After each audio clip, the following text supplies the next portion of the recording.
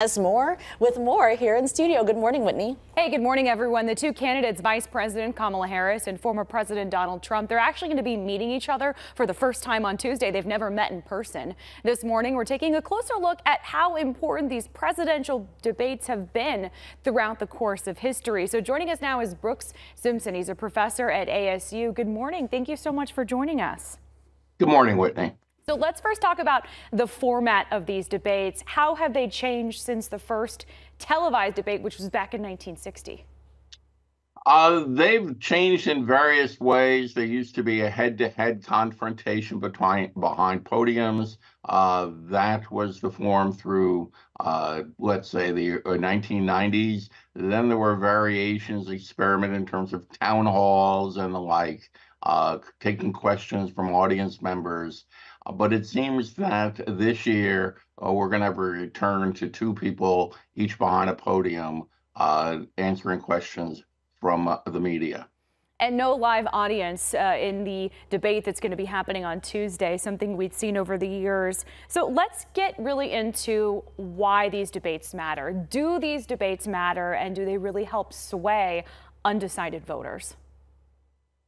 Debates do matter, not necessarily for reasons that uh, bring glory to them, uh, that we look for memorable moments, uh, and both positive and negative, uh, memorable expressions uh, that candidates have that can be repeated later on, and memorable gaffes, which we saw early this year in the Biden-Trump debate.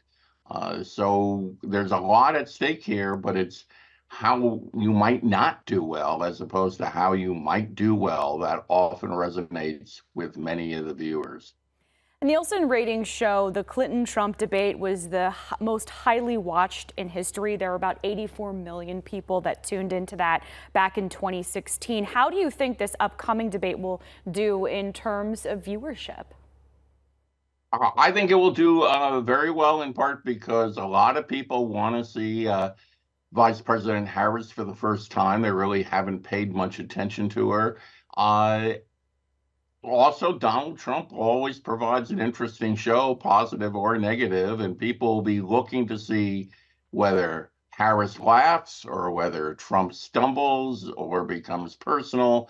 Uh, there's a lot to look at here, but if we're looking in terms of substantial discourse on policy options, uh, we may be sorely disappointed.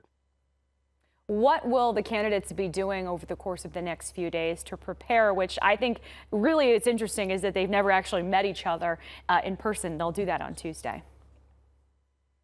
Right. What happens is that parties will go into a place of semi seclusion, at least for several hours a day, and they will appoint a surrogate who will portray the other candidate, and they'll rehearse situations and rehearse lines that they hope to deliver. Uh, you will see during the debate on Tuesday that uh, there will be some canned responses and challenges uh, that will come from each candidate. Again, as both parties seek to have that memorable phrase locked in the consciousness of the American public. Brooks, thank you so much for joining us. It's certainly something many people, millions of people will be tuned into. So thank you so much. We'll talk to you again soon. Take care.